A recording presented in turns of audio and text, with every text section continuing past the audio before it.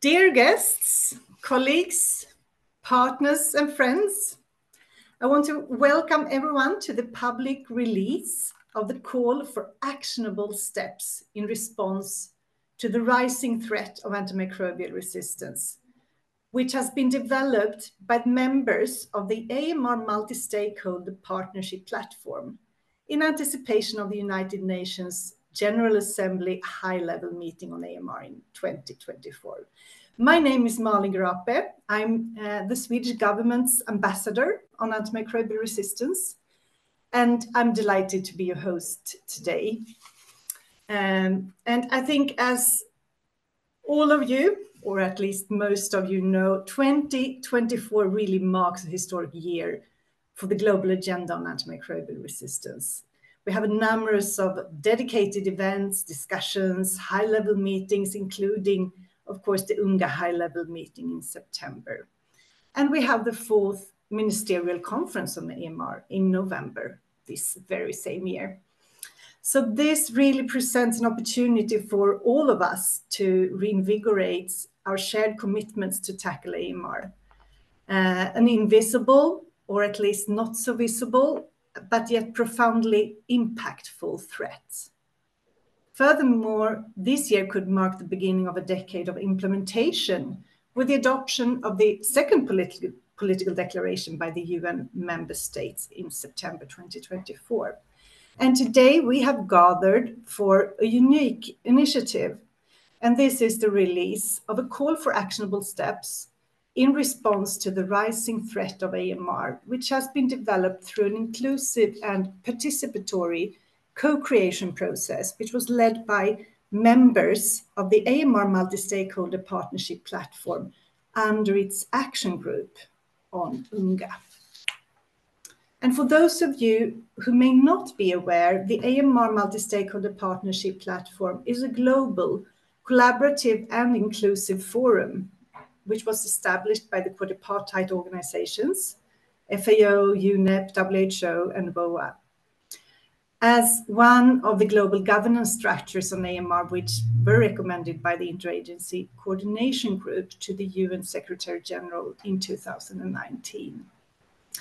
And In today's meeting, we will hear from the members of the platform about the vision that was developed and jointly shaped by its members in these recommendations, aiming to outline concrete and actionable steps to address AMR using the One Health approach to be considered by UN member states in their negotiations of the second political declaration.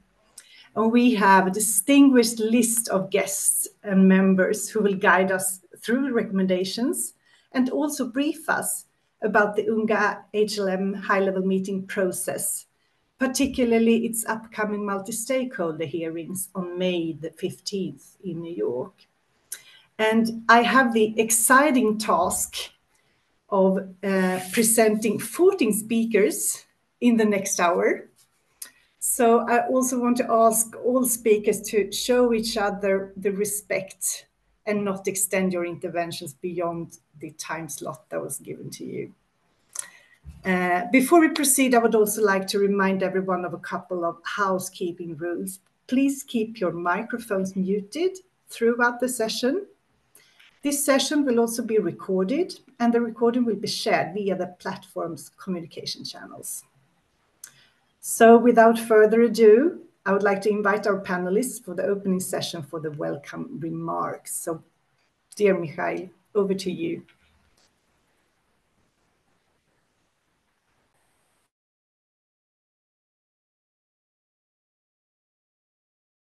Thank you. It's such a pleasure to be here today and present the AMR Multi-Stakeholder Partnership Platform's call for actionable steps in response to the rising threat of antimicrobial resistance. This call is a testament to the collective effort and commitment of all stakeholders, reflecting our shared belief in the urgency and importance of addressing AMR. Um, my name is Michiel Peters. I represent the Secretariat of the AMR Industry Alliance on behalf of our members, who are all life sciences companies joined in their belief that the challenges of AMR must be tackled together.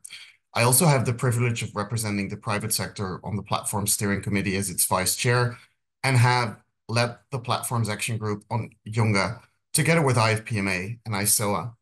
Um, and before I speak briefly to the content of our call for actionable steps, I would like to take a moment to thank the over 60 representatives from the platform's clusters, including governments, academia, civil society, financial and philanthropic institutions, and the private sector, who have taken the time over the last few months to participate in this process.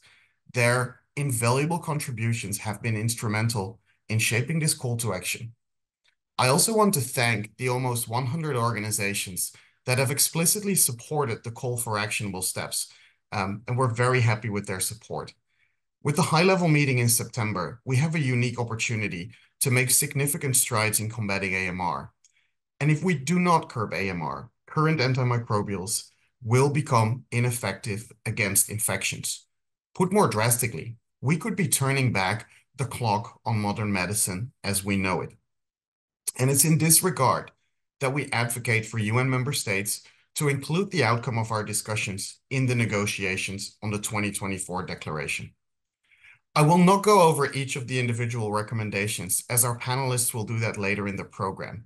However, I want to highlight some of them from our perspective, starting with ensuring universal, equitable, affordable, and sustainable access, including in rural areas, to quality essential medicines, vaccines, and diagnostics for humans and animals. From our perspective, this will require governments to work together with other stakeholders to effectively address barriers that limit access when it comes to, for example, investing in diagnostics infrastructure, regulatory issues, forecasting and surveillance, and procurement.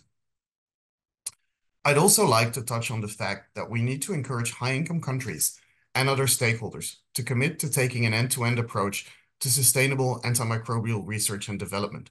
More is needed in the form of market-based incentives to drive antimicrobial R&D and encourage researchers and medical specialists to stay dedicated to this critical area of medicine.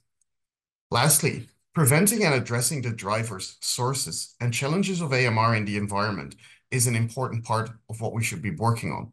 And one crucial step here would be for countries to adopt the third-party certification of the antibiotic manufacturing standard as part of their tendering and reimbursement policies.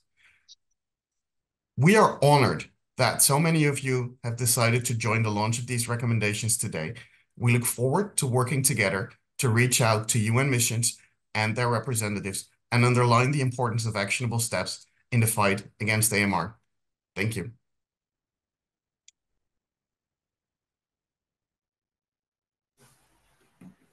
Thank you so much, Michael.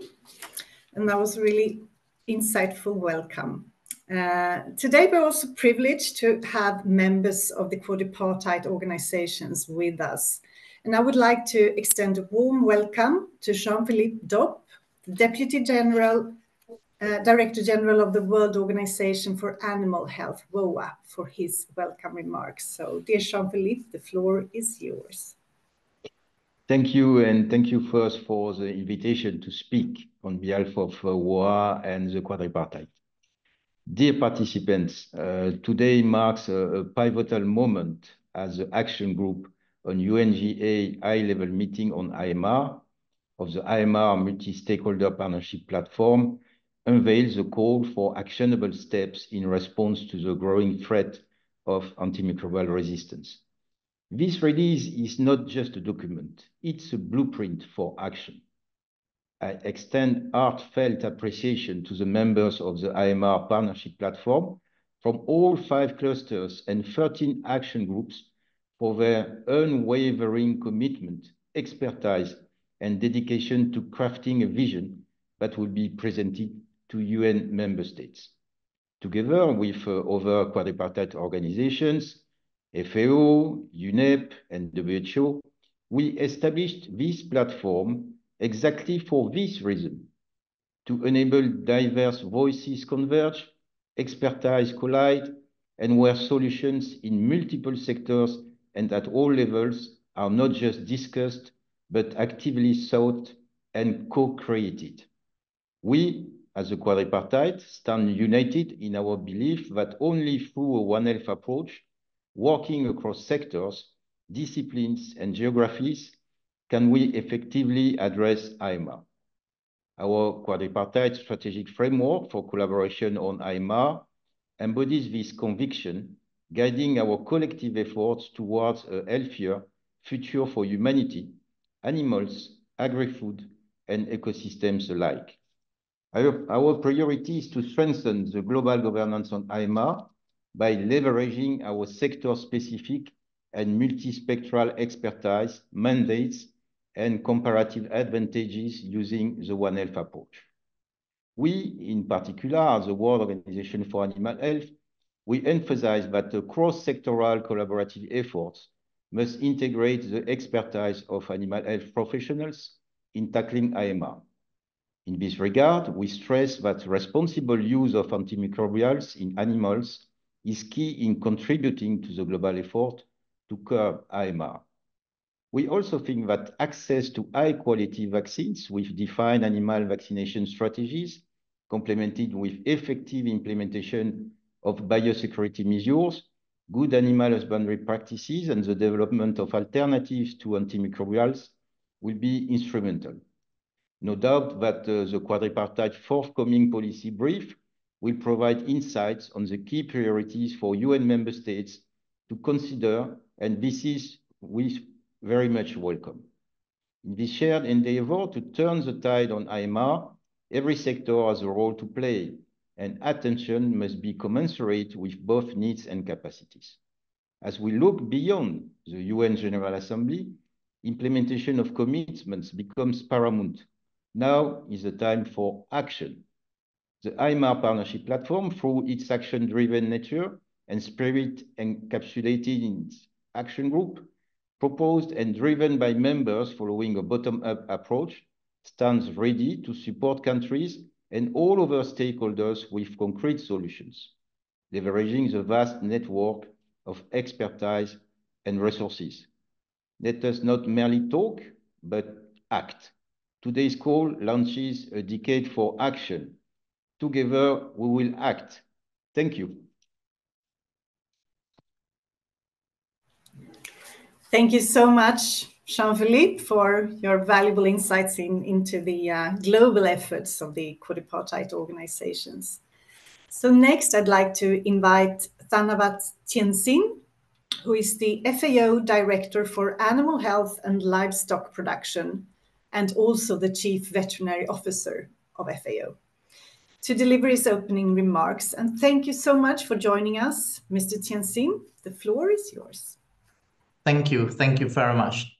Dear Excellencies, distinguished guests, partners, friends, colleagues, ladies and gentlemen.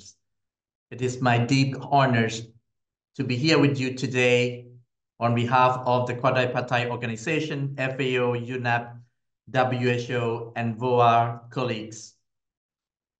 The public release events of the call for actionable steps in response to the rising threat of antimicrobial resistant AMR. It is a testament to our collective resolve in crafting a comprehensive vision on AMR using the One Health approach. At FAO, we firmly believe in the power of collaborative effort, partnerships, and joint endeavors to spur actions propose innovative solutions, seek compromise, fosters co uh, constructive dialogues, and forge consensus on pressing issues. We know that working together is a challenge. Bring people together and work together.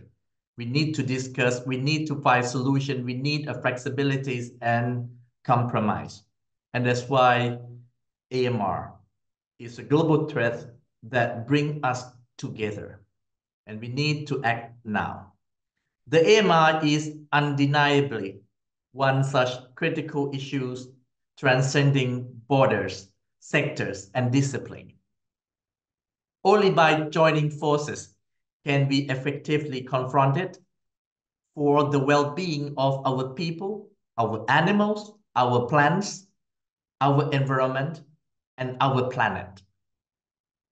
Just last week, FAO launched the 10 years initiative aiming at reducing the need on antimicrobials on farms for sustainable agri-food system transformations called Renofarm Initiative in China. The events bring the participations from the participants from over 100 individual worldwide from more than 40 countries.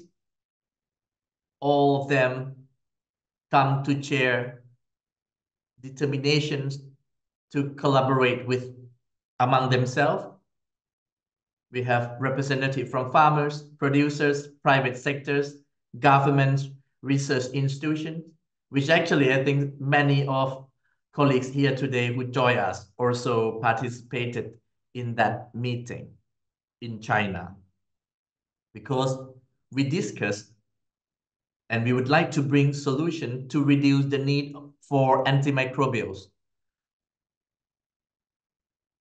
This one is our aim, and we have the remarkable enthusiasm and commitment to make sure that we can do better and we can move forward together.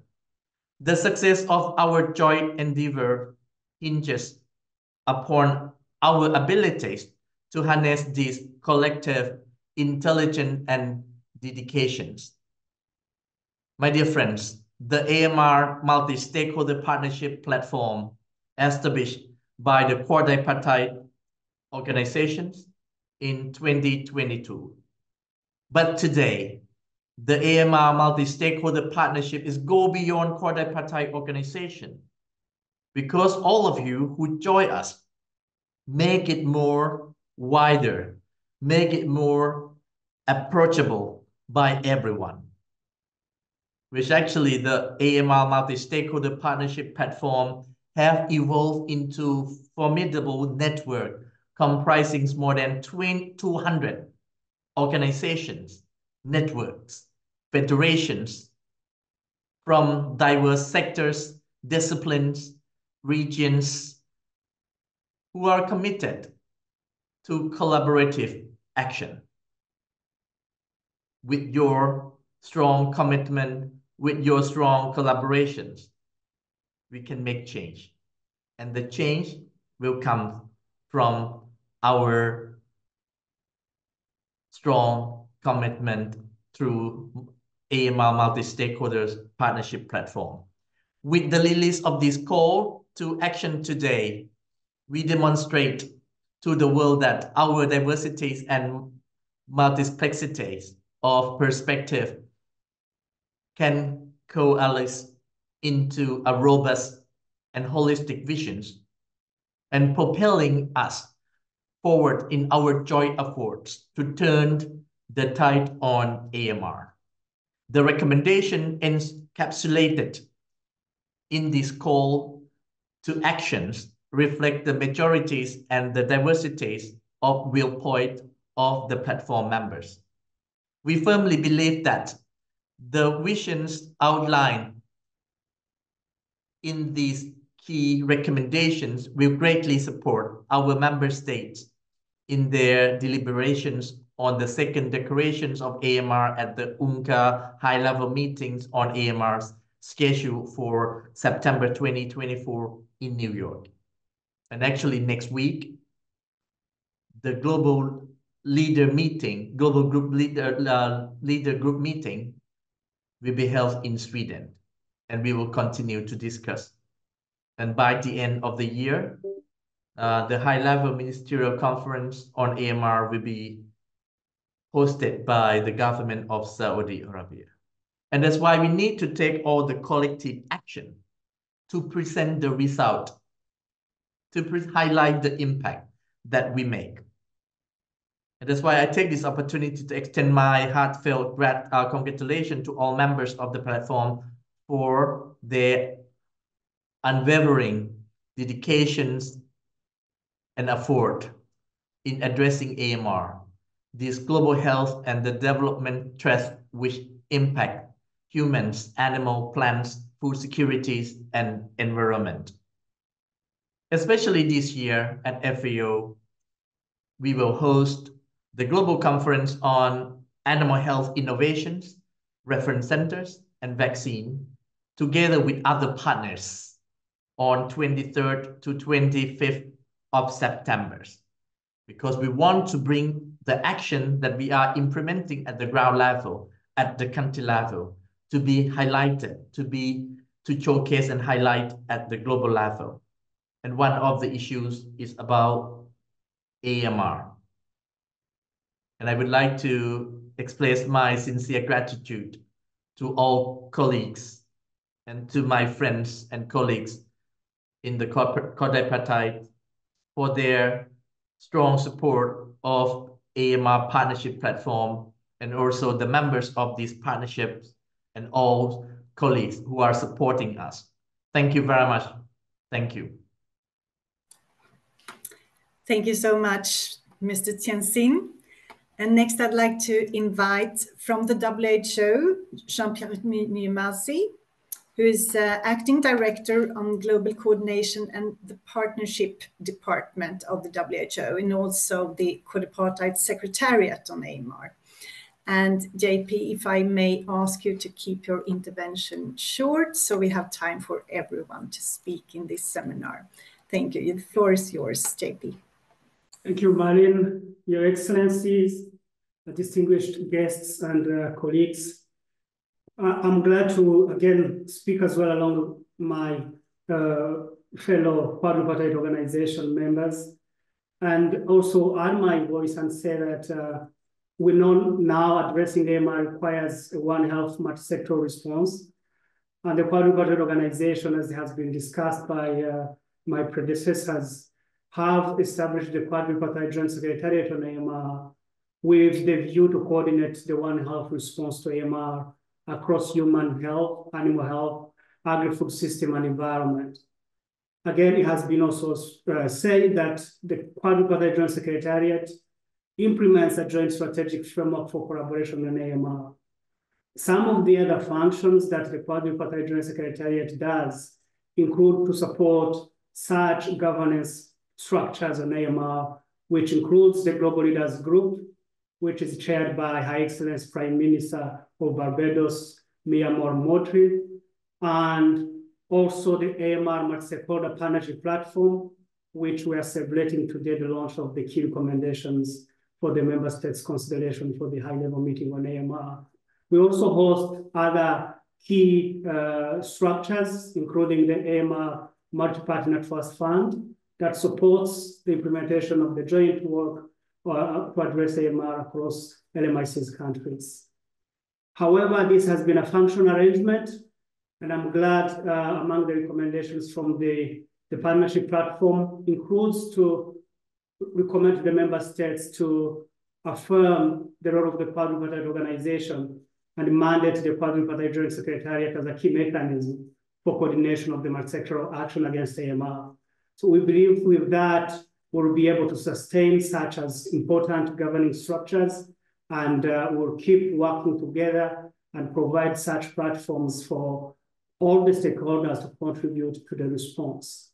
Now, besides uh, WHO hosting the quadripartite joint secretariat and contributing to the One Health response, towards end of this month, the 77th World Health Assembly will consider the WHO strategic and operational priorities to address drug-resistant bacterial infections for a people-centered AMR response.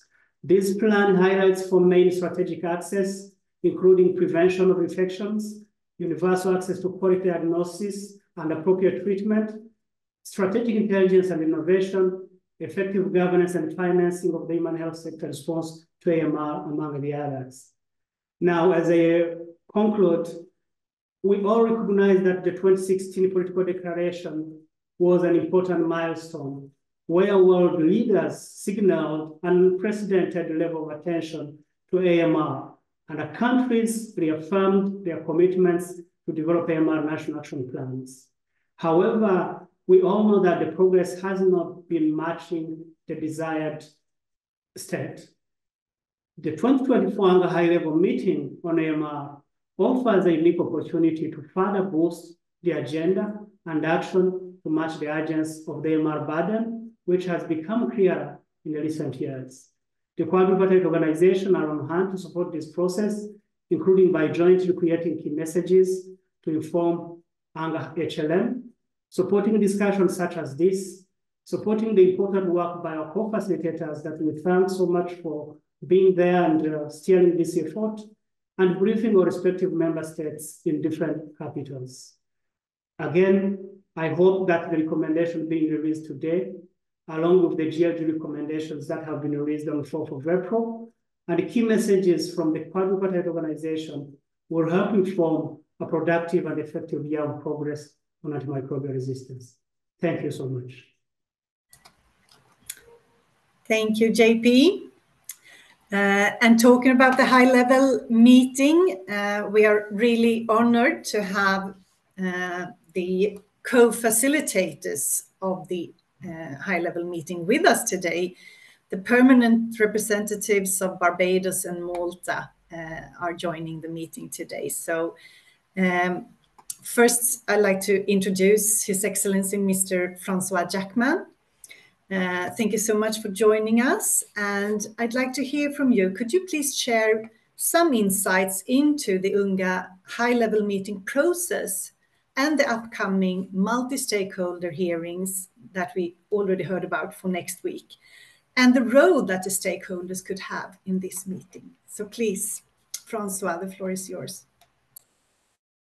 Thank you very much, Malin, and good morning uh, to all colleagues, excellencies, and friends. It's really a, a pleasure to to be with you this morning. And I must say, when I started off this role as co-facilitator, it wasn't obvious to me that there would be such a warm and active community uh, around this subject. And it's really been one of the highlights, certainly for me, to have found uh, so many willing uh, and energetic uh, and constructive interlocutors. So, so thanks again for the invitation.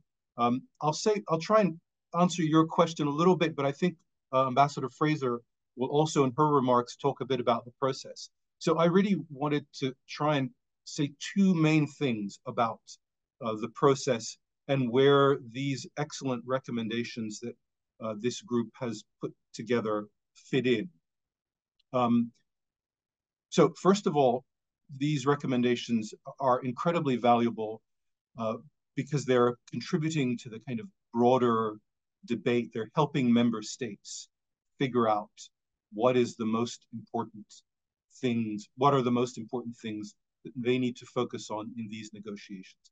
And as you know, member states, uh, negotiators, member states are very busy. They're doing all sorts of other things at the same time as they are negotiating uh, in this process. And so having clear recommendations like these both the recommendations themselves and kind of the detailed explanations is an incredibly valuable tool. And these recommendations have two special, in my view, two special qualities. First of all, uh, they come from a group like yours, which is broad, diverse, uh, varied, but extremely authoritative, data driven, and science focused. And as you know, sometimes in the UN, these uh, these qualities can be lost in the political and diplomatic cut and thrust. So having recommendations that are so well founded in the science, in the data, in the authoritative institutions is really something that can help the member states, but it can also help the co-facilitators to say, well, here is a body of recommendations and of work that all member states need to look at because it comes from this place of expertise uh, and knowledge. And then the second point is, and it's obviously connected to, to the first point, and it's connected to points made by colleagues before already, is that these recommendations are the result of a consensus. You have already all agreed on this. And I don't need to emphasize in this audience just how valuable and important consensus is. And as the co-facilitators, we are looking to develop a political declaration that has both the, the data-driven, uh, fact-based substance and ambition, but also that produces the consensus amongst all member states that we need if this is really going to be a tool uh, to address the urgent uh, AMR crisis. And these recommendations have both of these qualities. There's the quality, the content, the substance, the, the data-driven side of it on the one hand, and you have produced uh, a document around which all of you, all of these important authoritative institutions agree. So this is a, a really strong signal, I think, to member states that it's possible to be ambitious and consensual. And as the co-facilitator, that is really what we, I think, have been entrusted to try and help member states achieve the consensus and the ambition together. And the recommendations that you're launching today really have a very valuable role to play in that regard. Um, so really, in closing, I just wanted to, to say that we, we rely on you all as a group and on the institutions that you represent individually to keep to keep at it, as it were, to keep pressing on the process, pressing on the member states to be as ambitious uh, as we can be while keeping that spirit of consensus alive. So really, thank you very much. We, we rely on your continued support, and I look forward to this morning's discussions. Thank you, Molly. Thank you so much, Francois. And I think I will follow up directly because we had a really good uh, question in the in the Q&A here. Uh, now we, we see that these recommendations are well received by you as co-facilitators, but there's also a question here on advice on how to reach member states with these same um, uh, recommendations and, and how to maybe reach the kind of outer circle. There is there is a smaller circle. There's a group of friends of countries that are already quite engaged in AMR. But but how do we reach broader than this? if you could share your thoughts on this. Thank you. Well, I would say events like these are obviously uh, one way of doing it. Uh, I have had the opportunity to meet with a number of you one on one and in, in other events, and I, I would encourage you over the next few months to continue that outreach to member states, key member states, also groups of member states who may be uh, less engaged in this issue and then lastly, I think this is really important for the negotiations themselves, for the kind of the process part of it. I think it's important where you can, and your organizations all have vast networks and, and outreach programs. Talk to our ministries and authorities in capitals because negotiators depend on negotiating briefs sent to them from their ministries at capital. So if the ministries are informed, involved, aware, they will be able to provide their, their negotiators with a better, broader um, set of negotiating briefs, which will enable us as co facilitators to drive the process towards greater ambition. So I think continuing this kind of outreach, but also where, where it's possible, talking to your correspondents, your counterparts in our capitals will be really an important way of socializing, socializing uh, these uh, recommendations. Thank you so much. And I think you're sharing your insights and, and this information is really incredibly valuable to, to the members of the platform. So thank you so much for this, Francois. And now I'd like to invite you all to watch a video message from Her Excellency Vanessa Frazier, who is the permanent representative of the Republic of Malta to the United Nations.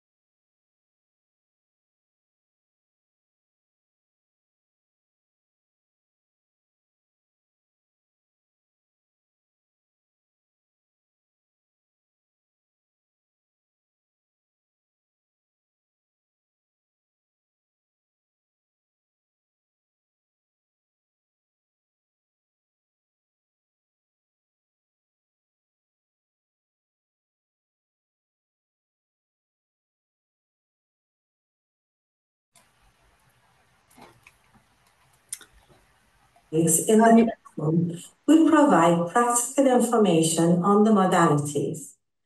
I also invite you to listen to the hearings via web streaming. As you know, this event will be a one-day discussion divided into three panels targeting adequate, predictable, and sustainable financing and investments in the AMR response. Apologies. I think there was no sound, so we can try to re-listen it again. Dear Excellencies, distinguished guests, partners, friends, and colleagues, the release of the call for actionable steps in response to the rising threat of antimicrobial resistance, AMR, are a testament to the collective multi-stakeholder efforts of the AMR Multi-Stakeholder Partnership Platform. This marks a critical juncture for us all and drives our collective resolve to confront AMR through the One Health approach. My heartfelt congratulations to all members of the platform for their unwavering commitment and tireless efforts in addressing this global health and development threat that affects humans, our animals and plants, our food, and our environment. This call for action, a convergence of expertise, knowledge, and skills, shows that facing AMR requires unity across the various sectors. As we look ahead to the UN General Assembly high-level meeting on AMR on 26 September 2024, let us seize this opportunity to amplify our voices and accelerate progress.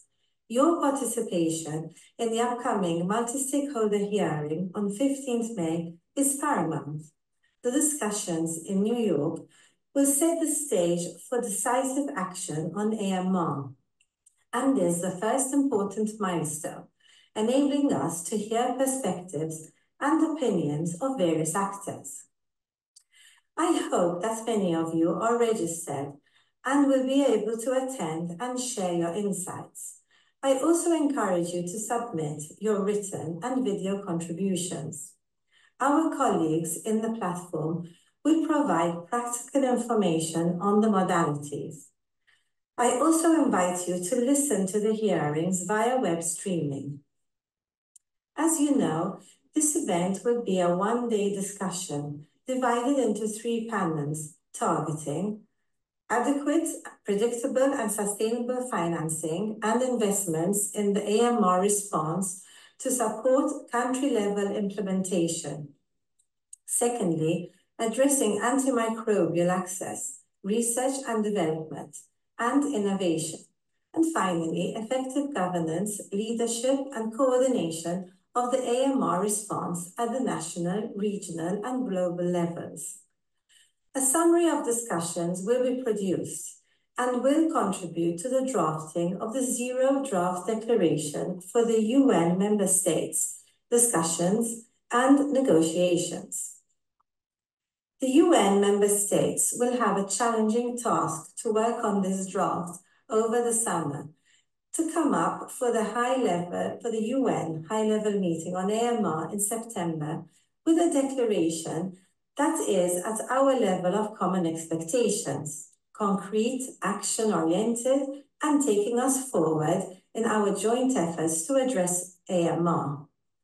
Ladies and gentlemen, as we advance towards these pivotal meetings, we must remember our shared duty to safeguard the health of present and future generations, our animals, and our planet. Together with Ambassador Jackman, I am committed to ensuring the success of this pivotal UNGA process. In closing, I extend my deepest gratitude to all participants for their dedication and passion, and to the quadripartite for their unwavering support to the UNGA process. Thank you all. So sorry for the uh, technical challenges there, uh, but happy that we could all hear this video message. Um, and again, it's I think it's really useful for the members here to know that that's the voices and the recommendations and the opinions of all stakeholders are really considered in the development here. Um, so dear all, now it's really time to to go into these recommendations, hear a bit more about uh, the vision of the members when these were crafted, and get a bit deeper understanding of the different uh, recommendations. So I'm very pleased to invite uh, Sujith Chandy, who is the Executive Director of the International Center for Antimicrobial Solutions, ICARS, to share his valuable insights. And he really has the challenging task of talking about as much as four of these recommendations, number one, two, four, and five. So Sujith, um, considering these recommendations, um, what key strategies should be prioritized to advance the implementation of national action plans through the One Health approach? And why uh, do you see that governance of the AMR response is so crucial? Please, Sujith, the floor is yours. Thank you very much. Um, my thanks to all the organizers and uh, those involved with the multi-stakeholder partnership platform, especially you, the stakeholders are listening in. I've gone through the recommendations, and I think they're comprehensive, and my appreciation for putting this together. I know it's not easy to put such an important document together, but we need to make the recommendations beyond just words. We need to make the text live.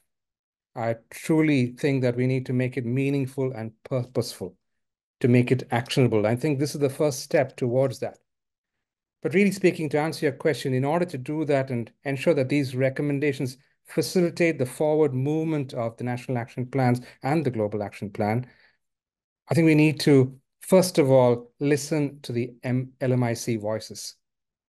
And when I say listen, it's not just listen, actually, but to understand these voices. And I underline the word understand. But how do we actually do this? Especially keeping recommendations one, two, four, and five in mind, which I've been asked to speak on. And I think there are different stakeholders in different sectors, and they all have their needs, their fears, and expectations. And this varies from country to country. There are local challenges, and there are different burdens in these sectors. So therefore, it's very important to be able to generate evidence, evidence synthesis, but from a contextual and country-owned solutions point of view, if you really need to move forward with these NAPs. The One Health lens is equally important, and we keep saying this, the intersectoral coordination and funding mechanisms. But let's again remind ourselves that the challenges are different, and so are the risks. So I think the risk-benefit analysis in these sectors is very important. And we need to make sure that in all these recommendations, we do not leave any sector behind if you really believe in true One Health. The top-down and bottom-up approach, I think, is also going to be important, where we try to build, bridge the science to the policy, but also to the implementation. In order to do that, actually, the government buy-in is very important because the political will needs prioritization of these recommendations, but also political messaging. But we also need to understand that it's not just government buy-in, but stakeholder involvement. All of you listening into this are part of the stakeholder. But let's not forget the community, community engagement. Lastly, impact and sustainability. Really speaking, we do a lot of projects in this area. But have we truly understood the economic case? Have we built it into our projects? Equally, the behavioral change strategies. They need to be evidence-based, but with the context keeping in mind affordability, accessibility, and the long-term mind of holistic stewardship. Of course, there are lots of things we can do as interventions, but let's not forget prevention, vaccination, infrastructure, health and farm system strengthening, WASH, IPC. Easy to say, but difficult in the context of the geopolitical world that we live in. But I think we need to remind our countries. In conclusion, I think this is a call for actionable steps. But if we need an effective and purposeful roadmap for actual action, let me conclude by saying we need the following. The first, I think, is global governance. The independent panel is going to be extremely important if we need to generate the evidence to action. But we also need to mind, remind ourselves that politicians and governments and countries have competing priorities and agendas. So where is that synergy between the various global agendas, the pandemic treaty, for example, or climate change? And we need to work much more on synergizing them. We need accountability and monitoring mechanisms. And we need to match and couple these targets and indicators with research and resources for effective implementation if we really want to move action. We need the investments, of course, but let's not forget the opportunity costs and evidence generation. And finally, communications and dissemination. Let's try to make these recommendations clear and understandable for policymakers, for stakeholders, for community with proper dissemination. I think if we can do some of these things, prioritize these, we would have forward movement on recommendations one, two, four, and five. Thank you very much. Thank you so much, Sujith. And now I will turn to uh, Mr. Martin van Gerven, who is research coordinator from the Access to Medicines Foundation. And he will talk about the recommendations eight and nine concerning the importance of access, research, and innovation. And Martin, uh, how can we ensure equitable access to existing and new antimicrobials, especially in developing countries? And uh, further, what measures can be implemented to address the market failures and expedite research and development for antimicrobials, also for diagnostics, vaccines, and possibly other tools? Please, the floor is yours, Martina. Thank you, Malin. And indeed, it is absolutely crucial that every patient has access to the right anti antimicrobials. Um, and this is independent of where they live in the world. Because currently the lack of access to antimicrobials uh, does not only lead to a lot of people dying from curable diseases, uh, it is actually also a major driver of AMR. Um, so what are a few examples that UN member states can do to ensure access to essential medicines, uh, vaccines, diagnostics, um, not only for humans, um, but also for animals? And with the group, we came together and we saw that appropriate access should start with evidence-based guidance. We need to build a clinical evidence base to develop clear guidelines for when and how antimicrobials should be used.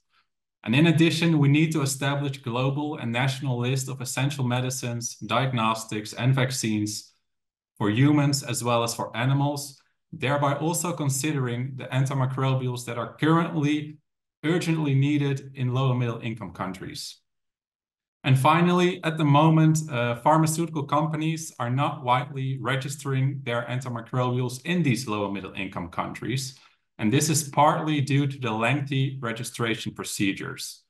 Therefore, it will be critical to promote harmonized registration and support the capacity building of regulatory systems. And these access interventions are needed for new and existing antimicrobials. However, like you said, how can we make sure that there will be newly developed products to begin with? Um, and like the access issue, um, there's no doubt that there will be a big role for the pharmaceutical sector, but to support the development of new antimicrobials, we specifically call on high-income countries to apply an end-to-end -end approach to R&D. And the key here will be to increase public investment in push and pull incentives. And these incentives must target priority pathogens and should also consider disproportionately affected populations like women and children. Because um, to give an example, uh, one in every five people that are dying from resistant infections are actually children under the age of five. And it also takes around 10 years before approved antimicrobials are tailored for children. Finally, promoting access and stewardship as part of R&D funding will be critical to ensure appropriate access globally.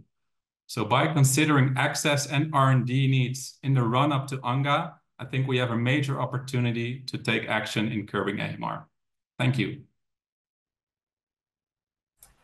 Thank you so much, Martin, for this insightful overview of access research and innovation aspects of AMR. Uh, so next, I'd like to invite Arjan van Heuvelingen, who's Chief Strategic Policy and Public Affairs at the World Federation for Animals. And uh, here we also have on these recommendations six and seven, we also have Carel du Marchie Sarvaas, who is Executive Director of Health for Animals. So they will talk about the recommendations on the significance of addressing AMR within the agri-food sector. So uh, thank you so much for, for using and sharing this very short time. I'd like to hear from you now, considering these recommendations six and seven, can you please elaborate on the strategies and actions that are necessary to reduce the need and the use of antimicrobials in the agri-food sectors? And in addition to this, why is it crucial to have proper evidence, the data surveillance systems in place to enable us to gather this information. So please, the floor is yours. Uh, thank you very much, Malin. Uh, to answer your question, I think it's important to note that the vast majority of antimicrobials produced globally are currently used in the agri-food sector, and primarily in intensive livestock production systems. These systems, by their very nature, are a hotbed for disease emergence and transmission, and as a result require, almost as a prerequisite, the routine and group prophylactic use of antibiotics, often in sub-therapeutic doses, which allow a perfect environment for the emergence of AMR.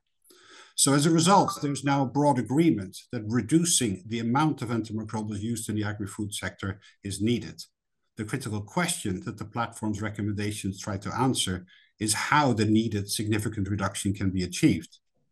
The platform's recommendation promotes two strategies. First is a transformation to agri-food systems that optimize and promote animal health and animal welfare to reduce the need for antimicrobial use. Where this has already been done, the current evidence suggests that such a transformation can be achieved with no meaningful negative impacts for both production cost and productivity levels. And two, closely related to this, the platform recommends that member states consider the urgent phasing out of all use of medically important antimicrobials for growth promotion and routine group prophylactic use in healthy animals in an ambitious stepwise country-specific approach in accordance with the relevant WOA and Codex international standards. Now, while the platform's recommendation does not give an indication as to the degree of reduction needed, I should note that the Global Leaders Group on AMR very recently encouraged member states to consider a 30 to 50% overall reduction in antimicrobial use in the agri-food se sector by 2030. I think that's a level of ambition that complements the platform's recommendations and reflects the bold action needed. And finally, as already highlighted by the UN General Assembly during its high-level meeting on AMR in 2016, strengthened AMR and AMU surveillance is needed as well country-specific action on reducing AMU in the agri-food system will rely on the accuracy and completeness of information on how much and how antimicrobials are used. For the agri-food system, the platform strongly recommends that member states commit to sharing information on AMU in animals with the World Organization for Animal Health through their new ANIMUSE system. And finally, in closing, in our agri-food systems, responsible use equals reduced use. An urgent action to promote animal health and animal welfare in the design of agri-food systems will be key to achieving this. Thank you. Uh, thanks. Uh, thank you, uh, Ambassador uh, Grape, for the introduction. Um, my name is Carl Lumshi-Servas. I represent Health for Animals, and we're the Global Animal Health Association. Uh, we participated in, in drafting these recommendations, and we support them and thanks to those who, who led the process. So three short points for me. I know we're running out of time. Number one, we believe these recommendations are very actionable and they're realistic because they're based in science and are on widely accepted and endorsed concepts such as the uh, uh the, the codes of uh, Codex and WOA and norms and standards. Um, recommendation six emphasizes the importance of surveillance and monitoring um, of both AMR and AMU uh, and in my slightly biased opinion, I believe the WOA Animuse database system is possibly the, the most comprehensive uh, of all the, uh, the, the, data collection systems. And we certainly support increased surveillance and monitoring. This is the basis of, of, of good decision making. Um, recommendation seven states that the need to uh, address the drivers that lead to use or misuse of antimicrobials is essential. And in animals, uh, the main driver is the use uh, the, the main driver of use is, is actually diseases that weaken or kill animals. Uh, and the text clearly identifies some, some solutions like preventative healthcare solutions, biosecurity, vaccination, nutrition, increased veterinary care, and so on. I'm going to end by saying um, that we in the animal health uh, industry are committed to doing what we do best, which is investing and creating new products and services to help serve the health and welfare of all animals. Thank you. Thank you. And sorry for this short time, but we very much appreciate it, keeping it brief. Thanks, Arjan and Carl. Uh, and now I'd like to welcome Dipali Patel, who's the Director of International Policy from the AMR Action Fund. And you will now talk about the re recommendations pertaining to the financing aspects which of course are crucial for, for implementing these necessary actions. But if we look at recommendation three um, on sustainable financing, what strategies can countries employ to effectively and adequately leverage funding? And that means international and domestic resources to really address AMR across the sectors. And how can they do that in face of the competing development priorities? Please, Dipali. The floor is yours. Uh, thank you, Malin. Um, so I think we've already heard uh, from a number of speakers now that we have, I think, really built a strong scientific, public health, and environmental case for addressing AMR. Um, we cannot advance goals without a strong engagement from financiers. We need a strong financial case now. It is financing that transforms evidence to action. Um, there are a number of strategies that member states can take both at national, regional, and global level. And this could entail, for example, having a clear plan, such as NAPs, um, that hone in on where financing can unlock action.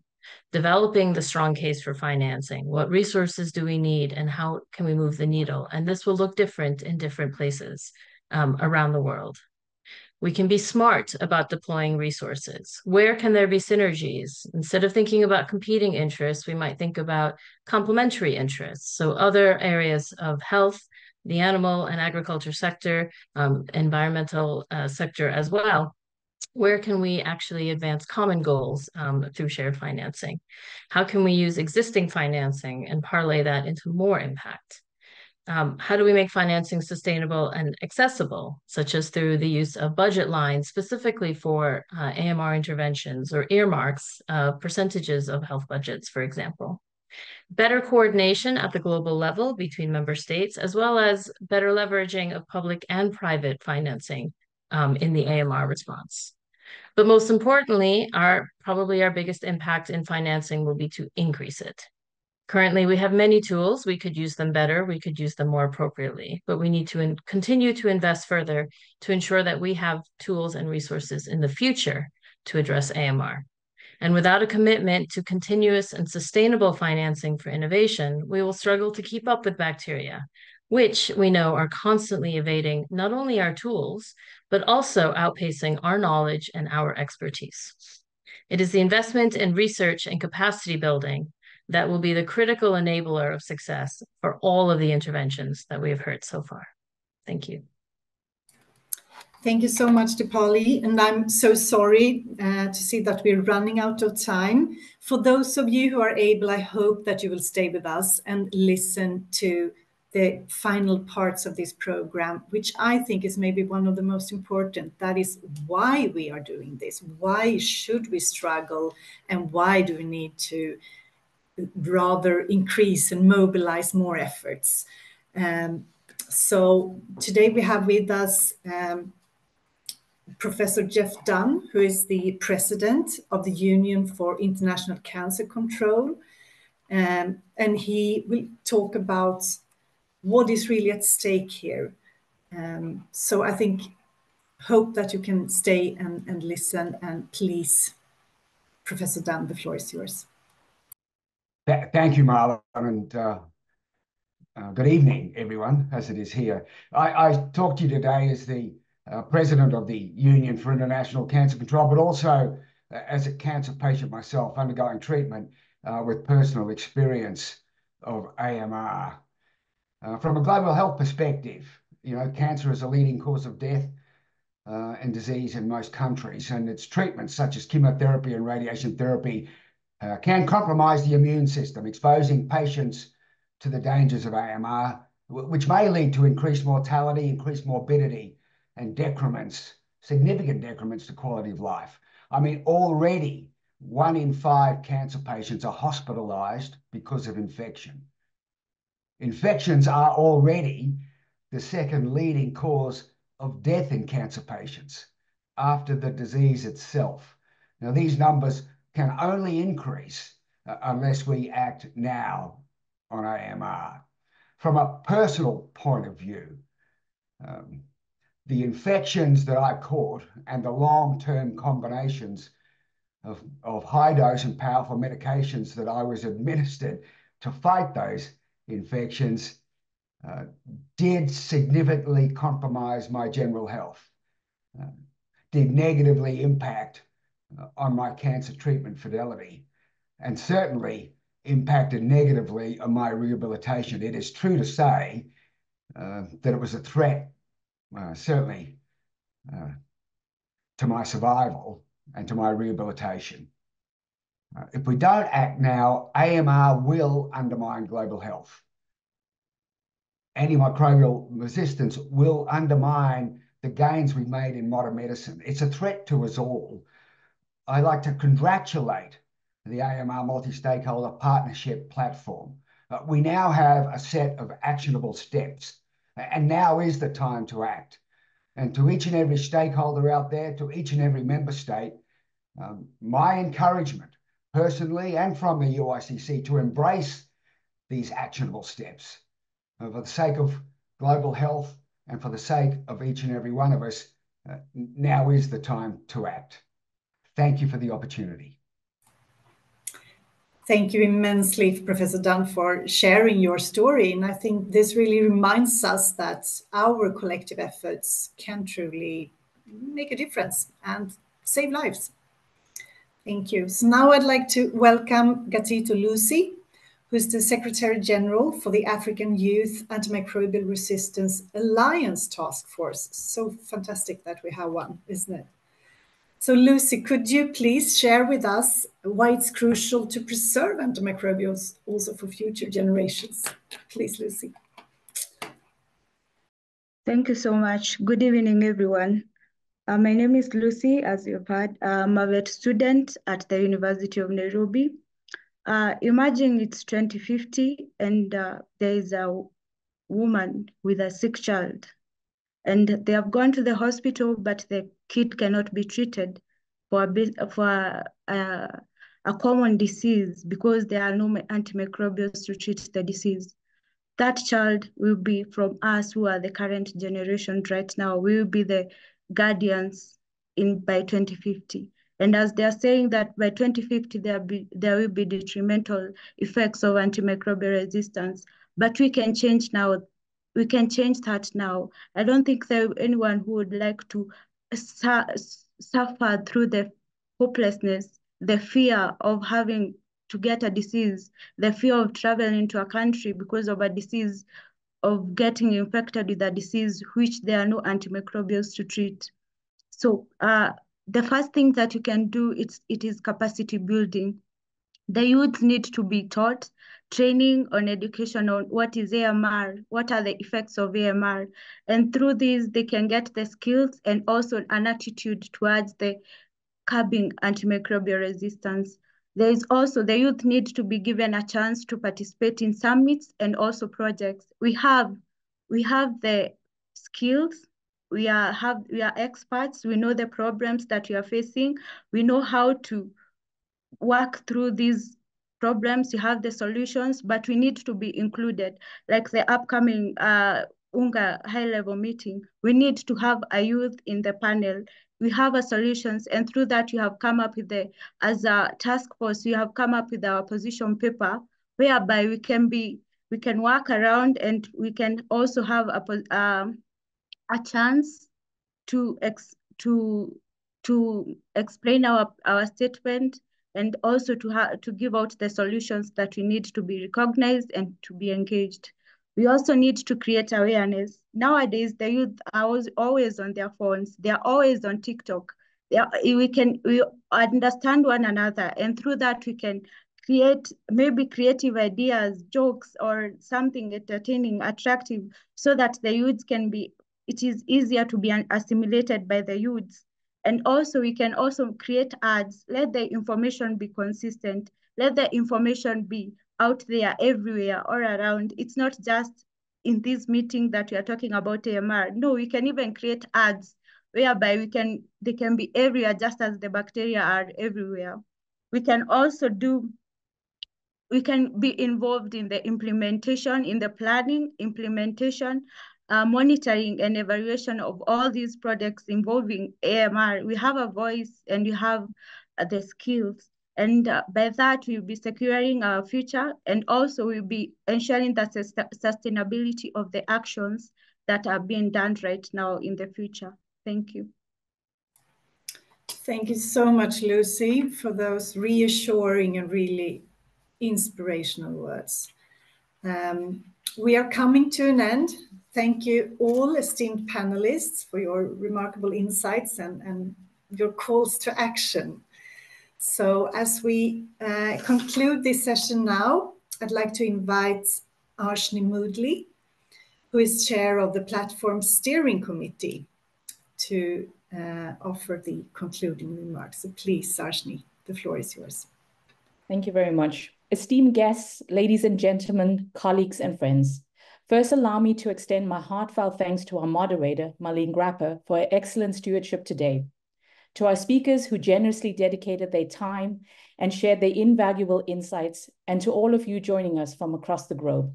I speak to you not just as the chair of the steering committee of the partnership platform, but as a fellow AMR enthusiast, deeply invested in addressing the impacts of AMR in our communities, our animals, our agriculture, and our planet. We are at a pivotal moment, and the recommendations you have heard today and the stories shared all echo the same message.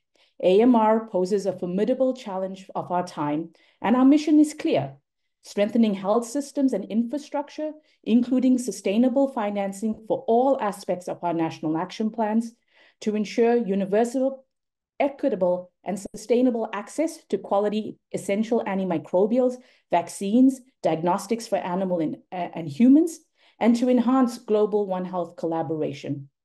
It is with this in mind, I call on each of you who have not already done so to join us on, at the partnership platform.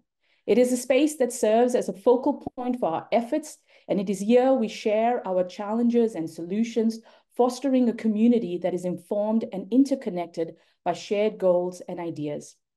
As we look ahead, let us leave today inspired not just to act, but to lead. And I'm pleased to share that the UNGA-related resources on the partnership's webpage includes an advocacy kit. These resources have been developed, collected, and collated, designed to empower us, to raise awareness, engage one another and our communities, and to advocate and mobilize resources to drive action. Remember, every effort counts, every action matters, and every one of us plays a role. Thank you for today. Thank you so much, Arshnee. And to conclude, I'd also like to reiterate to both members and prospective new members that we should, of course, let us continue to this endeavor to, to address AMR in the One Health approach, and let's make 2024 a year of accelerated action on AMR. So thank you for being with us today, and please share these recommendations and join the platform if you haven't already. Thank you so much for today.